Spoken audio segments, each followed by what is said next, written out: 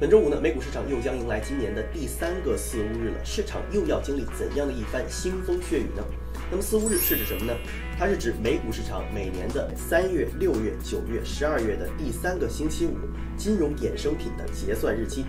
从今年的历史数据上来看，前两个四巫日均是呈现出标普百下跌的态势。那么明天的这个四巫日，市场会呈现怎样的行情？投资者有哪些值得注意的点呢？由于近期美股的剧烈波动，尤其是在以科技股为首震荡下行的情况下，另外呢，由于前几个月苹果、特斯拉、Zoom 等科技股的火爆行情，导致散户纷纷的涌入，交投情绪十分的高涨，因此呢，呈现出两个特点，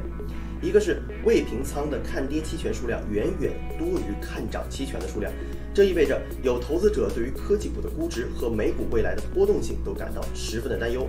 第二个呢是近期散户投资者的期权交易十分的火热，也就是说，散户投资者不仅炒股，而且玩起了期权。众所周知，散户投资者在投资心理和投资技巧上都不太成熟，因此，如果在四五日当天出现了大规模的抛售的话，这些散户很有可能也会纷纷的跟风去抛售，因此很有可能造成美股再次的大跌。